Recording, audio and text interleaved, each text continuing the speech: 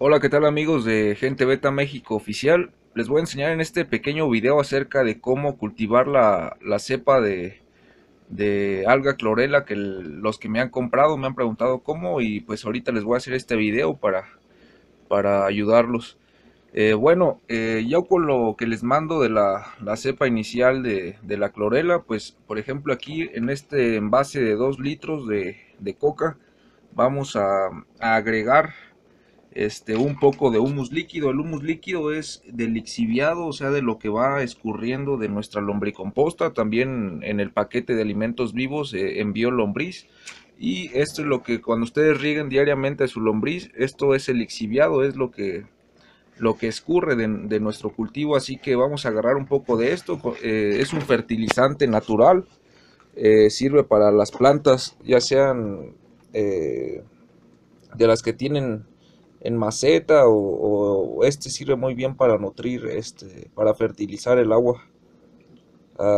Aquí de la de la cepa de, de microalga. Entonces aquí ya agregamos un poco, tiene ácidos flavonoicos, eh, tiene eh, nitrógeno, tiene todo, está muy completo este, este, ¿cómo se llama? Fertilizante natural y como les comento, pues es de, del lo que escurre de nuestra cepa de, lombriz. Y pues vamos a agregar un poco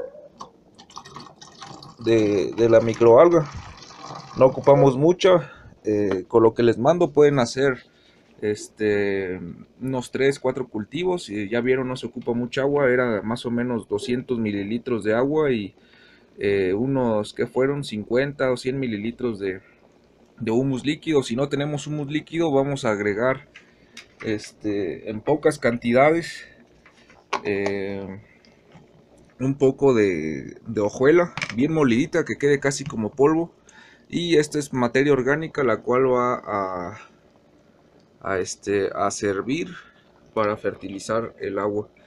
Esta, esta cepa la puse ayer y ya está agarrando un color ya mucho más verde. Simplemente hay que poner un poco de oxigenación aquí tengo otra, otro cultivo entonces esta microalga es muy importante sirve para alimentar a nuestros inclusive a nuestros larvas de los primeros tres días de nacidos le podemos dar un poco de esto es una microalga rica en proteínas tiene vitaminas aminoácidos tiene de todo y pues se la recomiendo también para para que cultiven, para alimentar a la Daphnia, Gamarus y pues todo los, lo, que le envíen el paquete. Si están interesados en el paquete de alimentos vivos, pues aquí me dejan un comentario. Este, los que ya me compraron el alga, también comenten si ya cómo van sus cultivos.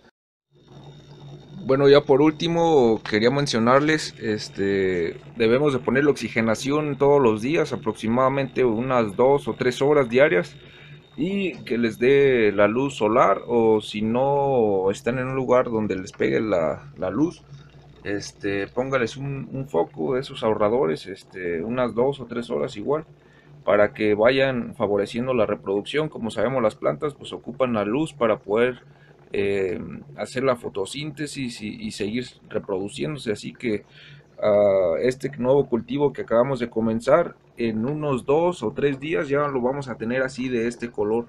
Eh, aquí está el microscopio próximamente les voy a enseñar un video de cómo, cómo se ven las algas clorelas en el microscopio para, para que vean este qué es lo que se van a comer nuestros peces. Un saludo y pues nos vemos ahora sí en el próximo video. Regálenme un like eh, si llegamos a los 100 likes este voy a subir un video muy importante acerca de si el azul de metileno es dañino para nuestros betas